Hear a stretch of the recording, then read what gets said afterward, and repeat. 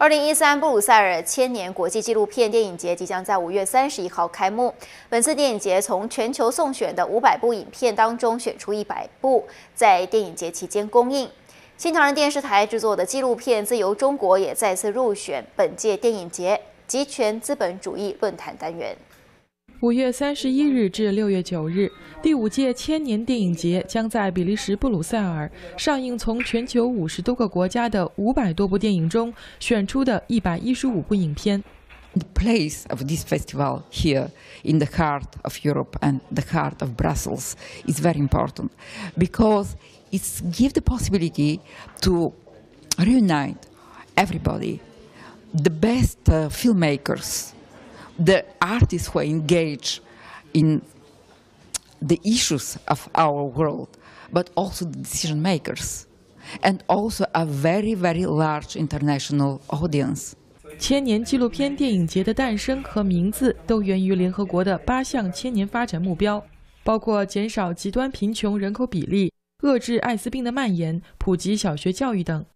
Through the festival, we increase public awareness and support for the Millennium Development Goals, which should not be a goal limited to institutions or to governments, but should be everybody concerned. 一切都是为了销售，是这次电影节的主题，旨在探寻经济目的以外的人性价值。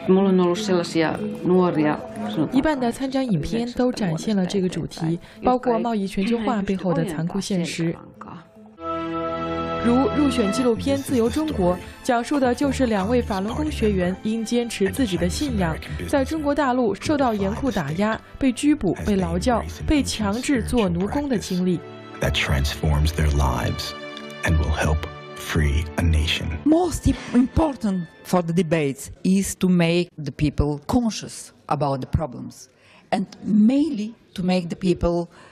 to give them the belief that they're the main actors of our world.